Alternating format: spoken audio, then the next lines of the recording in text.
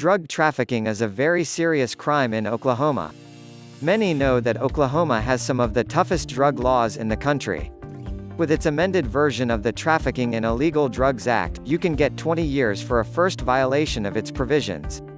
The Trafficking in Illegal Drugs Act makes it illegal to knowingly possess, distribute, manufacture, or possess with the intent to manufacture, any of the controlled substances mentioned in Title 63 Section 2 to 415.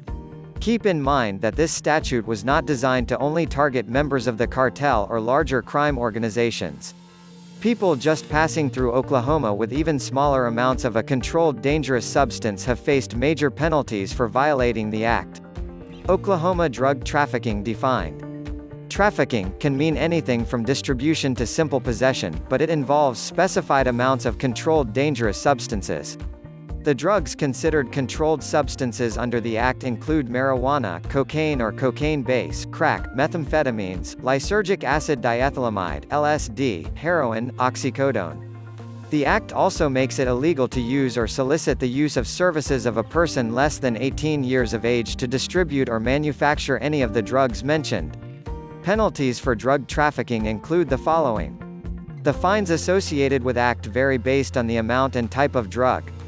For instance, 30 tablets or 10 grams of MDMA comes with a fine of $25,000 to $100,000 and 20 grams or more of PCP can get you fined $20,000 to $50,000. In 2017 the Bartlesville police arrested a man found with 82 grams of meth. He was sentenced to life without parole with a fine of $25,000 for violating Title 63 after having two or more prior felony drug convictions. If you are facing a charge in trafficking in illegal drugs, it is critical that you find legal representation. Is marijuana trafficking a crime? As more and more states move to legalize marijuana or to create a use for medical purposes you can still be convicted for trafficking. Even if you have a medical marijuana card you can still face a conviction in Oklahoma. It comes down to the weight of the marijuana that you've been accused of possessing. If that weight exceeds the statutory amount the state will bring the charge as a drug trafficking offense. Drug trafficking defense lawyers near you.